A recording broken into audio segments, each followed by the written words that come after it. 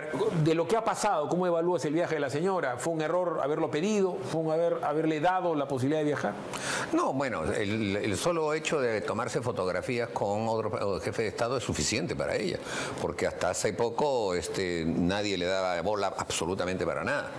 Y eso es suficiente, pero eso son, solamente eh, posiciones, fotos, etcétera, que no tienen nada de fondo. El problema es que esta señora eh, viene de un grupo de gente que eran unos aventureros que eh, no sabían si iban a ganar o perder, o sea, sabían simplemente lo que les iba a tocar.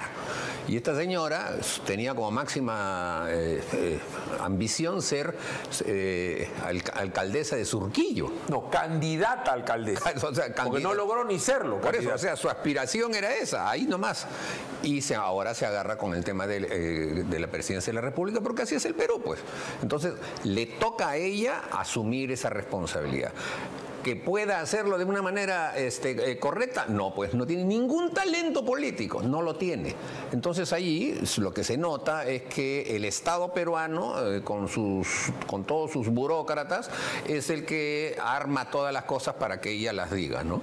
Como por ejemplo ocurrió con su eh, discurso de tres horas, que obviamente pues, o sea, ella no tenía ni idea de lo que estaba leyendo, simplemente estaba corriendo las cosas. Entonces, eso es lo que nos ha tocado. Peor hubiese sido si se hubiese eh, consumado el golpe de Estado de Castillo y ahora sabe Dios en qué estuviéramos. o en su defecto también cuál es el otro, el otro este, problema que eh, hubiese habido, que sin, eh, sin en, entrar el, el señor Castillo a la presidencia de la República, ella este, a, la larga tendría que haberle hecho un golpe de Estado a, Castillo y entonces el país se hubiese este, desarmado.